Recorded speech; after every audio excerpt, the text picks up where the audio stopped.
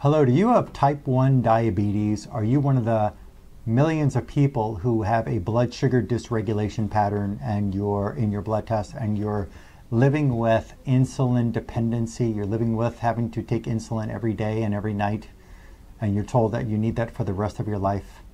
I'm Dr. Lonnie Herman, and in this video, there's two parts. The first part I'm going to be describing from a patient's lab tests which were done in a very big university hospital in the Carolinas here in the United States. Uh, and so you're going to see proof of what's changed in his body with no more need of insulin in his life, at least at this point, that's how it appears. And it was not described as a honeymoon phase, as people commonly say. In the second part of this video, you're going to see a, a, a video that I filmed, or somebody, my staff, I should say, filmed of me discussing with one of the parents of this uh, teenager who now has been taken off all of his insulin. You're also going to see that his A1C is normal, and you're going to see what the this big university hospital said, and I won't mention their name, uh, but the hospital said that he no longer needs any insulin. They discontinued all of, it, of the insulin medications. Okay, so right here, first thing that we're going to do, and I've got Sally, my camera person, she's going to zoom in. We may take a second to adjust so that you can see clearly on this camera, on this video, of what's going on here on this sheet. Right here, you could, should see the person's name is Alec. You'll see at least the first name. Do we see that clear? Okay, excellent. Now I'm going to bring up here with Alec's test. We can see that in December, and you don't have to zoom in too close, but make it so that it's legible for all the viewers to see, Sally, okay? Can you see that? It shows here highlighted in orange that his initial test showed his A1C was a 13.8 and that was done on December of 2015. We got a clear view of that? Excellent. That around that time when I looked at his other labs, it was about a 300 glucose was the fasting glucose level. Now, the next page I have here, you're going to see the name is the same coming out of the hospital records. Did we see that name?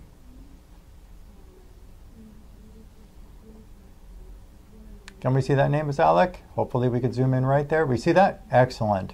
Now what you're going to see here is that in his test of February of 2017, we should see the whole view there highlighted in orange so it's easy for you viewers to see. February of 2017 is A1C 5.7.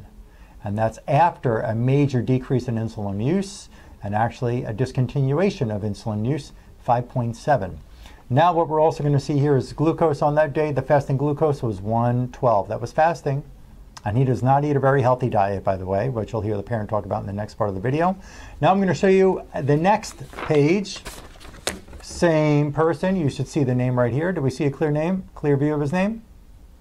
Yeah, we got that good. Now what I'm going to show you as I scan down this page, you can see current medications. This teenager, he's autistic. With those ended medications, I want you to notice here, if you look at all of those, and we don't have to zoom in too close to read the word so clear, but you can actually, if you can just read across the sentence here, there are the uh, Novolog insulin, the Humalog insulin, discontinued. Can you see all of those showing discontinued? Every single one of his insulin medications are discontinued now. Further, we go to the bottom of this page. You don't have to zoom in too close, but we can get a clear view of the whole sentence at once right now. You see it? We got a clear view of there, Sally? So what we see here is the first diagnosis of type 1 diabetes with the complications, with ketoacidosis. That was on December of 2015. And what they re-diagnosed them now in 2017 is uncontrolled type 1 diabetes mellitus without complications. So what would uncontrolled, if you could zoom back to me, thanks. So what would uncontrolled type 1 diabetes without medications mean? Uncontrolled means they're not using any medicine to control the diabetic pattern. Without complications means there's no ketoacidosis, there's no blood sugar dysregulation like in high A1C or a fasting glucose that's high. They're not having any bedwetting, there's no excessive thirst, there's no urination. They did not diagnose them as non-diabetic. I don't know if they're ever even willing to do something like that because that's this type of work is not in their textbooks. So type of work that I'm offering. So understand, no more blood sugar dysregulation. You'll hear what the doctor told the parent in the next part of this video. With this patient, my primary, the reason why they brought him down here to my clinic uh, was because of his autism and because of his diabetes. And I'm going to be very clear, I started working on the brain first, looking for infections and toxins in his brain which uh, would relate to his autism uh, type of expression, let's just put it that way. Uh, and you'll hear the parent in the next part of the video talking about some changes there as well for, for this patient. Uh, but uh, working with his brain was my primary uh, focus. And we see that the diabetes has changed. Brain called the hypothalamus, I'll put that word up on the side of the screen as well. Hypothalamus is a part of the human brain which has glucose sensors in it. By the way, you're aware, you should be aware that your brain, one of the main fuels to run the brain is glucose, is blood sugar. Okay? So the hypothalamus has, in part of it, has glucose sensors. And the point of the glucose sensors are to help the brain realize if there's enough blood sugar in the brain or if there's not enough blood sugar in the brain or if there's too much blood sugar in the brain. So when the glucose sensors in the hypothalamus can determine that there's whatever level of, let's say that there's excess of blood sugar, then what it does is it sends out signals to the pancreas, to the beta cells, also known as islets of Langerhans, and it tells those beta cells, secrete some insulin. So while type 1 diabetes is always thought to be an autoimmune disease, not every single case of type 1 diabetes that was diagnosed that I've met in my clinic or is consulted with me online not every one of these cases in their hospital records or their uh, doctor's laboratory records have they run antibody tests. I have rarely seen in type 1 diabetics who are diagnosed as insulin dependent type 1 that they found autoimmune antibodies against the insulin or against the pancreas tissues or against what's called a GAD65 antibody. I haven't seen all these doctors running these tests, but they look at the A1C, they hear the symptom of excessive urination, of excessive thirst, uh, possibly some weight loss or whatever other uh, condition is going on in the patient. And they run the C peptide in some cases. They run the uh, A1C and the glucose, and they're coming up with that they're type 1 diabetic and it's autoimmune uh, disease, and that they just need insulin forever for the rest of their life. So, without running an autoimmune diabetes panel, it is, uh, it's just a, uh, they just believe that it's autoimmune, even though they never prove that it's autoimmune. While it can be autoimmune too, with an immune attack against these islet cells or beta cells, as well as the pancreas tissue, as well as uh, insulin.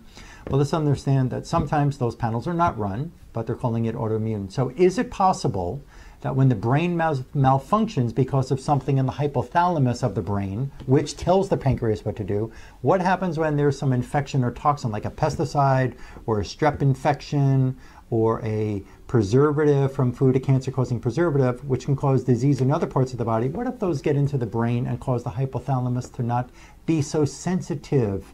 To the blood sugar changes. Well, if the hypothalamus is not so sensitive because its glucose sensors are diseased for some, by some chemical or infection, or both, what happens when those when the hypothalamus can't sense there's too much insulin in the brain? What's it going to do? Is it going to send a directive message down to the pancreas to secrete insulin, or is it not? I mean, it just makes sense that if the brain can't tell that there's too much blood sugar, then it may not tell the pancreas to secrete the insulin. Understand? So now I'm going to switch over to the uh, next video. I'll see you on the other side of this video, and I look forward to helping you and a family member uh, get well, and there are ways to help somebody reverse the condition. He is a, a parent of an autistic uh, uh, patient, autistic boy, who he brought to my clinic in South Florida from out of state, who was also diagnosed as a type 1 diabetic. And uh, let me just ask you, he was diagnosed, or if we can share with the public here, he was diagnosed as type 1 diabetic. How old is, how old is Alec? Alec is now um, 19. He'll be soon be 20. Okay, 19. And he was diagnosed when he was 18 or 17 as type 1 diabetic. I believe he was 18. It was in December 2015. Okay. And he was having trouble for what, a month before he was? Roughly a month before that, he was uh, choking. Every time he would eat, he wasn't able to eat without choking. Mm-hmm.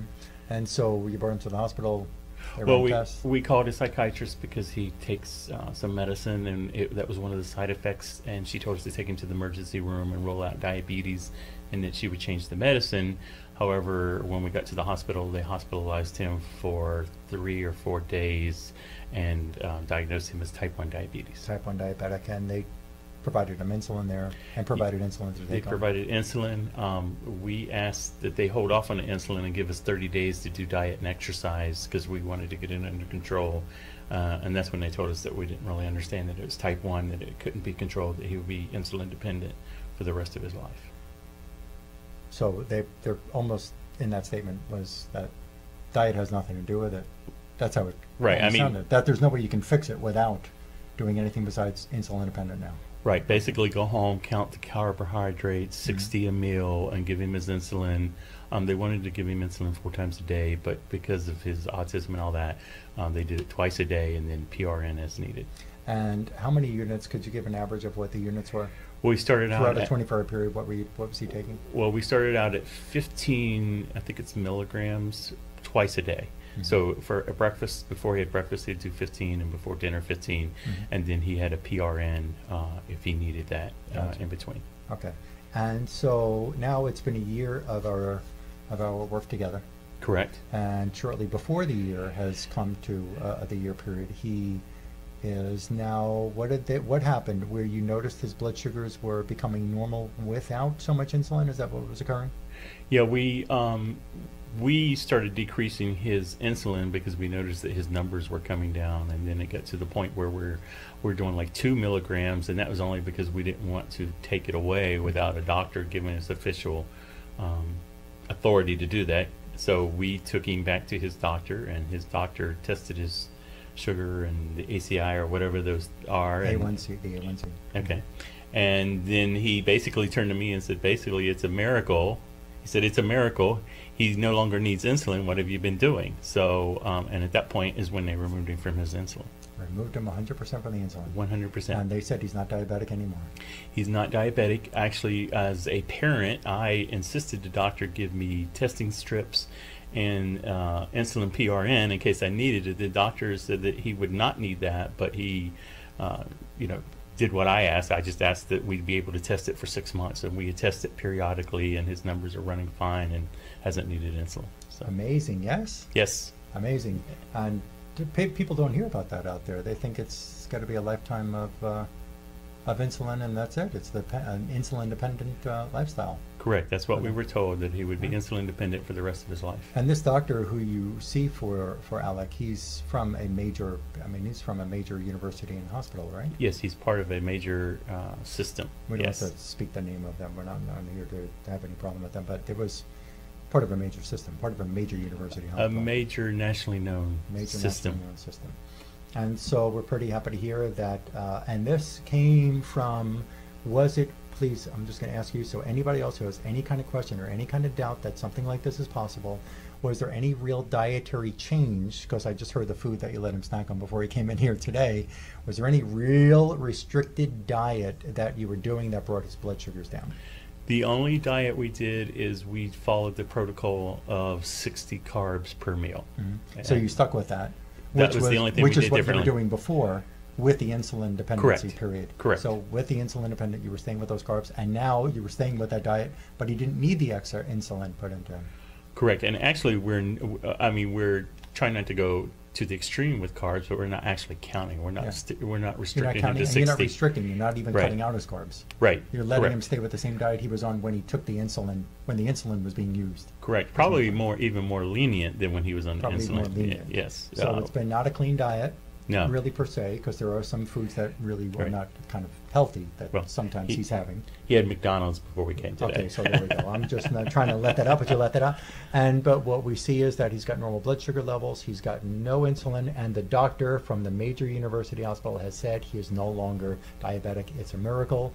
And they also said, I don't remember if he said this earlier, that he just thought it was some virus that maybe was there and disappeared. Yeah, when he asked me what we've been doing, I gave him a brief explanation, and then he said it must have been a virus on his pancreas. Yeah. So what we've been doing is working through tissues in his brain, finding infections and toxins in brain tissue and stem cells and bone marrow that have caused this domino effect to complicate the function with insulin secretion, which regulates the blood sugar levels. That's what we've been doing in here. And there is research, which I'll put up on the screen for you to watch with this uh, just great and generous uh, sharing uh, by all of you, is that there have been tests that are in diabetes journals, if you doctors even pay attention to these journals, that there are tests that were done to show brain changes actually can regulate the function of insulin secretion, can regulate the blood sugar level, has a direct correlation to insulin secretion and glucose levels. And what we're talking about here is that infections and toxins that get into these brain tissues, which regulate the pancreas function, are can be linked to your or your family members type 1 diabetes or type 2 diabetes. It's not all about the pancreas. It can actually be meaning directly infection on the pancreas that can cause it, which is what I find infection and toxin in the pancreas, but actually brain tissues, which can now are connected to because your brain controls your organs, it controls the pancreas, and the pancreas is an endo- part of the endocrine system. So there's a direct correlation between brain function and something that's disturbing brain function and pancreas function or pancreas regulation of insulin secretion. So we're pretty happy about this. I'm I'm really happy to see this. Yes, we're very happy. And uh, in, addition to that, I just want to say that we've noticed like more awareness, like picking up after himself, um, taking showers on his own, just being more aware of his environment than he ever has before. From the other type of not being connected with people, Right. with from his if it's properly diagnosed as an autism. right. Yeah, so he's actually Just more waving. aware. He's More aware. Oh, more he aware of waves his hello and environment, yeah. goodbye He waves hello, people. goodbye. He uh, shakes without- hands. He Shakes, shakes hands my hand now. Yeah. Where before he had to be, uh, it, it had to be initiated. Now he actually initiated it. And there was also a restlessness. I think that was right. He had a restless legs. He would move around in his Mhm. bed a lot at night. Is that still? Because that stopped months ago. Is that? Is that yeah, still? that's pretty much stopped. I mean, uh, uh, rarely he'll do that. Mm-hmm. Occasionally he'll do it, but it's rare. But there's a lot of improvement there. So we plan on doing more with him. I appreciate you sharing this with all the people out there who deserve to know that there is a way around it. You can call. Is there anything else you want to say? No, I No? that's. Thank you very much. Thank you. Is there, you're welcome. Is there any, uh, I'm sorry, if, for those of you who'd like to call and get an appointment here, the office number is 954 370 3100. I'll also put up the email address to my office assistant. Uh, if calling is too uh, much of a trouble, again, 954 370 3100. You can email the clinic and somebody will get back to you as soon as possible and help you uh, get an appointment in here. Thank you for letting us into your home to watch this information.